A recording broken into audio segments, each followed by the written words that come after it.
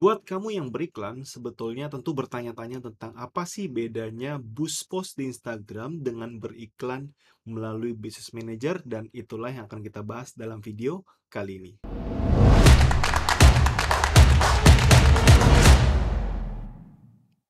Hai, bersama saya Niko dari upgraded.id, tempat kamu bisa belajar digital marketing, digital technology, dan juga otomatisasi. Sesuai dengan topik kita di depan tadi, sebetulnya kita akan bicara tentang apa sih sebetulnya bedanya namanya boost post di Instagram dengan iklan melalui Business Manager yang tentunya jadi banyak sekali pertanyaan dan juga uh, boleh saya bilang uh, banyak orang yang bingung tentang kedua hal ini sebetulnya. Mana yang lebih bagus dari kedua ini? Dan tentunya uh, kita akan bahas langsung dari feature-featurenya. So, hal pertama yang harus kita uh, pahami dulu gitu ya, apa sih sebetulnya yang namanya boost post itu? Jadi kalau kita perhatikan sebetulnya di Instagram postingan kita, maka kita akan uh, lihat gitu ya dari postingan Instagram kita akan lihat bahwa biasanya akan ada tombol boost post yang biasanya ada di pojok kiri bawah dari setiap postingan itu. Jadi fitur inilah sebetulnya yang biasanya sering kali dipakai gitu ya. Kemudian opsi keduanya biasanya adalah melalui dengan um, business manager di mana ya kita harus membuat akun bisnis profile dulu, kemudian kita mengiklan melalui desktop. Jadi bukan lewat HP sebetulnya, bukan di aplikasi Instagramnya gitu ya. Nah, beberapa opsi atau perbedaannya yang mana harus kita pahami dulu, di mana secara struktur sebetulnya ada sedikit perbedaan. Jadi kalau kita lihat dari perbedaannya sebetulnya di bagian yang namanya um, boost post Instagram, kita akan mengetahui bahwa ada tiga aspek yang dicek yang perlu uh, kita laluin gitu ya. Pertama adalah kita akan melalui namanya fase campaign, di mana kita akan mempersiapkan yang namanya goal jadi kita akan mempersiapkan namanya goal di uh, iklan kita gitu ya. Ada tiga sebetulnya yang disampaikan oleh Instagram di sini gitu ya. Satu adalah uh, profile visit. Jadi membuat mengajak orang untuk klik kemudian langsung ke halaman profile visit akun kita. Kedua, bisa jadi kita mengarahkan mereka langsung ke website visit yang kita tentukan. Jadi kita masukin linknya sebetulnya. Kemudian yang ketiga adalah menggunakan uh, iklan yang bertujuan untuk meningkatkan orang yang DM atau message akun Instagram kita. Jadi basically ada dua pendekatan itu. Oke, okay? mana yang yang akan kita pakai sebetulnya untuk um, campaign kita? Jawabannya tentu bervariasi. Maksudnya apa? Kalau memang kita ingin membuat orang untuk mengunjungi kita atau lebih pada fokus pada followers, maka saya pribadi akan saranin teman-teman untuk beriklan melalui profile visit. Jadi kalau fokusnya pada followers, gitu ya. Tapi kalau fokus teman-teman fokusnya pada uh, mungkin saya akan tulisin di sini biar lebih gampang ya. Jadi ini untuk followers. Jadi kalau teman-teman mau fokus pada nambahin followers, maka teman-teman akan iklan di sana, gitu ya. Sedangkan more website visit itu lebih fokus pada orang yang link klik, gitu ya. Jadi orang yang memang teman-teman mau fokusin untuk langsung ke mana nih, gitu ya. Lihat halaman website mungkin, atau misalnya langsung lari ke WhatsApp misalnya, atau di sini fokus pada DM tentunya, gitu ya. Jadi tentu setiap goal akan ada perbedaannya masing-masing. Nah, setelah kita membuat yang namanya goal atau menentukan goal tadi, maka di iklan kita akan masuk ke dalam yang namanya ad set atau di sini audience. Jadi kita mendefine audiensnya, gitu ya. Di mana audience ini kita bisa define dari beberapa opsi.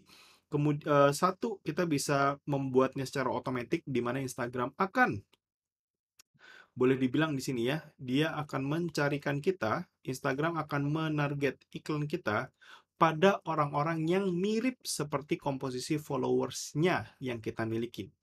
Artinya, kalau followers kita itu mayoritas beli gitu ya atau dari giveaway, itu rawan sekali, teman-teman. Maka otomatis ini sangat-sangat tidak disarankan. Kenapa? Karena akhirnya kualitas-kualitas followers yang dicari oleh si mesinnya akan juga jadi masalah. Jadi kalau akun teman-teman itu bertumbuh secara organik, maka automatic setting itu akan sangat membantu sekali. Nah, kemudian uh, create your own, di mana teman-teman bisa mendefine uh, secara manual gitu ya um, di sini disebutkan adalah targeting secara manual orang-orang seperti apa mulai dari umurnya apa yang mereka suka dan segala macam yang lain gitu ya bicara tentang budget kemudian kita bisa lihat di sini yang kita bisa pakai adalah budget oke okay? jadi ada tiga uh, fase ketiganya adalah kita akan menentukan namanya budget. Di mana budget ini ada dua segmen, ada dua section. Pertama adalah budget, kedua adalah namanya durasi. Budget minim di Instagram itu range-nya teman-teman ada di angka 15 ribuan, berarti di sini 15.545 sampai ada beberapa kasus saya menemukan di 35 ribuan. Nah, kenapa bisa beda kayak gitu? Uh, saya jujur nggak bisa jawab teman-teman. Jadi ini memang in-app dari si Instagram itu sendiri. Saya masih coba akan pelajarin hal itu gitu ya. Um, tapi intinya di range sekitar 15.000 sampai 35.000 dengan durasi bisa jadi teman-teman akan jalanin terus sampai iklannya berhenti ya pada opsi ini atau teman-teman bisa set durasinya, entah itu 6 hari, bisa jadi nanti 30 hari, bisa jadi itu 1-2 hari. Jadi sekali lagi tergantung. Sesimpel ini, kemudian teman-teman akan next dan review iklannya. Selesai. Jadi startingnya adalah sekali lagi mulai dari menentukan postingan mana yang mau diiklankan, kemudian kita ngetin uh, aspek ini, gitu ya. Sekali lagi di mana kita akan menentukan namanya goalnya, kemudian kita akan menentukan satu goalnya, dua adalah audiensnya, ketiga menentukan budget iklannya. Jadi itu flow um, boost post di Instagram ya dengan masing-masing fungsinya. Sekarang kita bergeser ke namanya business manager. Jadi kalau lewat business manager, teman-teman, kita akan melalui fase yang agak sedikit berbeda di mana memang secara function atau fungsi dia jauh lebih lengkap dengan beberapa opsi yang menurut saya memang tidak ada di boost post Instagram. Sebaliknya, di boost post itu ada juga sih fitur yang tidak ada menurut saya di dalam business manager. Di mana saya akan jelasin teman-teman. Sebetulnya ada tiga komposisi atau tiga level. Yang pertama adalah kita akan menentukan campaign teman-teman yang sebetulnya mirip seperti yang tadi di mana di sini disebutkan adalah kita akan meminta atau menentukan objektif atau tujuan dari iklan kita mau ke mana gitu ya. Bedanya adalah di iklan melalui business manager, teman-teman, kita akan punya banyak opsi ada awareness, ada namanya traffic, ada namanya engagement, di mana ada yang namanya lead, ada yang namanya app promotion, dan juga ada yang namanya sales. Artinya ada enam tujuan yang berbeda, gitu ya. Masing-masing dari iklan akan, masing-masing dari tujuan akan punya uh, tendensi yang berbeda masing-masingnya. Di sini kebetulan saya pilih yang sales, di mana sales ini teman-teman bisa lihat di bagian sini ya, di bagian Oke, di bagian sini teman-teman bisa lihat bahwa si Facebook atau Instagram nantinya akan bisa mencarikan kita audiens-audiens yang sekiranya akan membeli produk atau jasa kita. Oke, maksudnya apa? Kok bisa dia menentukan itu? Nanti teman-teman akan uh, diminta juga untuk melakukan request yang namanya pixel. Jadi saat kita memilih yang namanya sales di bagian sini, teman-teman, maka di settingan atau di level keduanya, di sini teman-teman bisa perhatiin ya, kita masuk di level ad set-nya, teman-teman, atau set iklan, di mana kita menentukan target dari iklan, itu akan muncul yang namanya pixel di bagian bawah, teman-teman. Jadi sales itu akan, akan akan punya perbedaan di mana dia bisa menentukan pixel. Pixel apa yang kita mau? Nah itu macam-macam. Ada yang namanya uh, iklan uh, berdasarkan orang yang lihat uh, produk halaman produk kita ada yang berdasarkan mereka add to cart ada mereka yang pengen lihat dari aspek sampai purchase bahkan gitu ya jadi ada beberapa um, pilihan pixel yang mana ya itu mungkin another topic gitu ya bahas yang detail banget teman-teman dan di sini kalau kita perhatikan uh, sampai di level adset sinilah nanti kita akan boleh uh, saya bilang gitu ya. Teman-teman akan lebih fokus pada yang namanya konversi atau tujuan iklannya. Nah, kemudian kalau kita perhatikan memang di sini uh, perbedaan dengan boost post adalah di level yang namanya ini kalau saya kasih biru ya, di bagian level yang namanya point profile visit dan juga di point uh, automatic teman-teman. Di mana sebetulnya nanti versi yang lebih simplified atau lebih mempermudah. Kenapa? Karena di halaman ini, sorry, di melalui Business Manager, teman-teman tidak bisa mendrive mereka, tapi rather akan menggunakan memang tujuan website tetap gitu ya. Tujuan website yang nantinya teman-teman arahkan ke dalam link Instagram teman-teman sendiri. Jadi perbedaannya sebetulnya ada di sana. Dan opsi-opsi lain sebetulnya yang boleh saya bilang itu kepake ya di uh, business manager adalah ada promosi melalui aplikasi, ada messaging app yang mirip seperti message, termasuk di sini teman-teman bisa lebih fokus pada uh, mengharapkan atau meminta si Facebook sama Instagram melalui business manager untuk memperbanyak tujuan untuk orang yang telepon, misalnya kayak gitu.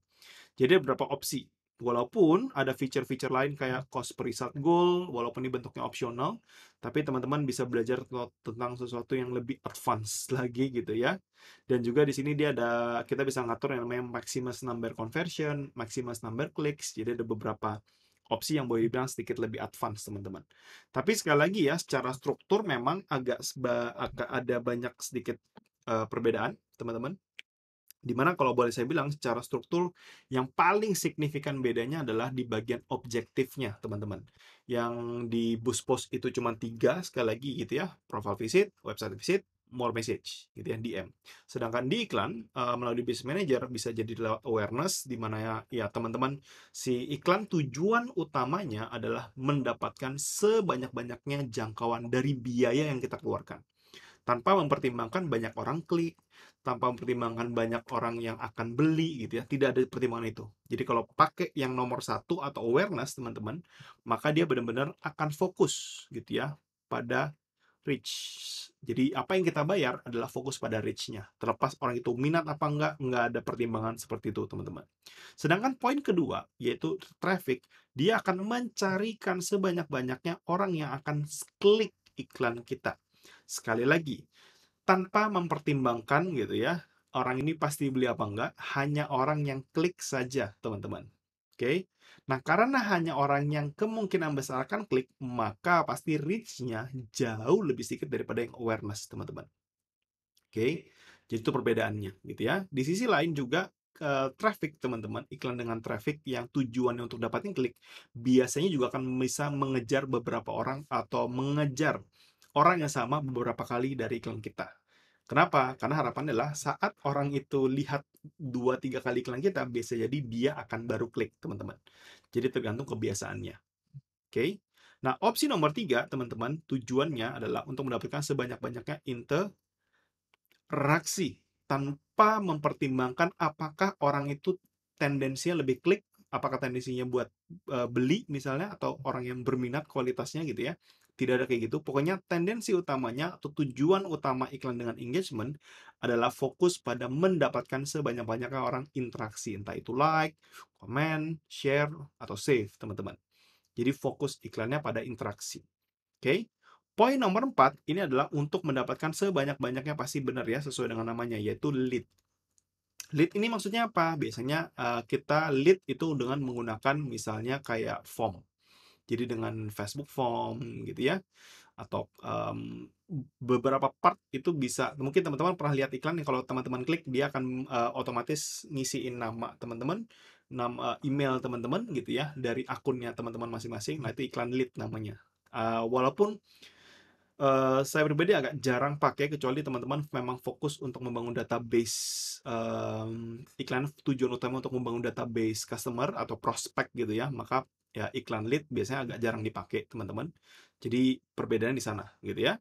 Poin nomor 5 promotion kalau memang teman-teman udah install atau mengiklankan uh, iklan teman-teman baik di uh, Android atau di iOS gitu ya. Jadi tendensi utamanya adalah memper, uh, memfokuskan kira-kira mana sih orang yang bakalan install, suka install-install aplikasi kayak gitu. Jadi itu app promotion. Dan yang ke-6 adalah yang sales, di mana ini akan fokus pada yang namanya pixel event trigger. Jadi perbedaan utamanya itu di situ, teman-teman. Jadi sekali lagi gitu ya, kalau kita perhatikan memang secara fungsi dan opsi, teman-teman, uh, iklan dengan business manager sebetulnya lebih fokus pada tujuan apa yang ingin kita capai gitu ya. Sedangkan di boost post Instagram itu lebih fokus pada uh, apa sih sebetulnya yang kita uh, pengen dapatkan? Either kalau nggak lebih banyak klik link di tujuan kita dapatin banyak orang yang visit ke dalam akun kita atau yang ketiga orang yang DM kita. Jadi lebih versi simplified kalau menurut saya pribadi gitu ya. Dan flownya memang sedikit agak berbeda di mana kalau di boost post sekali lagi kita pilih postingannya baru kita boost. Sedangkan di iklan melalui business manager adalah kita tentukan tujuannya apa dulu target audiensnya siapa, walaupun target audiens kalau saya perhatikan memang relatif mirip, walaupun ya lebih banyak variasi melalui business manager gitu ya. Uh, baru kita pilih postingan apa yang mau kita pilih untuk diiklankan. Jadi agak kebalik flow-nya gitu ya.